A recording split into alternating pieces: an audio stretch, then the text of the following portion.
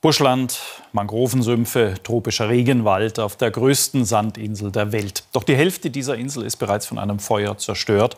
Fraser Island in Australien ist Reiseparadies und Weltnaturerbe der UNESCO. Seit sechs Wochen kämpfen die Einsatzkräfte im Bundesstaat Queensland schon gegen die Flammen. Wegen einer Hitzewelle hat sich das Feuer in dieser Woche noch weiter ausgebreitet. Es brennt und brennt und das nun schon seit Wochen. Mit mehr als einer Million Liter Wasser und Löschmittel haben die Einsatzkräfte versucht, die Brände einzudämmen. Doch das Feuer schwelt weiter. 80.000 Hektar Buschland sind bereits verbrannt. Wir haben festgestellt, dass 50 Prozent der Insel betroffen sind und kein Ende in Sicht. Wir können derzeit nicht vorhersagen, wie das Ganze ausgeht, denn wir versuchen es so gut es geht zu begrenzen. Mit einer Länge von 122 Kilometern ist Fraser Island die größte Sandinsel der Erde und seit 1992 auch UNESCO-Weltnaturerbe.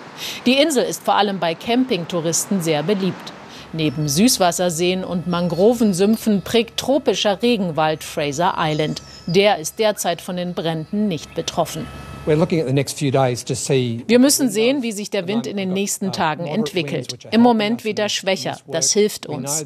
Wenn am Wochenende der Wind stärker wird, macht das alles etwas schwieriger. Aber wir arbeiten hart daran, das alles so gut wie möglich hinzubekommen. Die Brände sollen durch ein illegales Lagerfeuer Mitte Oktober ausgelöst worden sein. In dieser Woche hat sich die Situation durch eine anhaltende Hitzewelle noch einmal verschärft. Touristen wurden angewiesen, die Insel vorerst nicht mehr zu betreten, die in der Sprache der Aboriginals Gari heißt Paradies.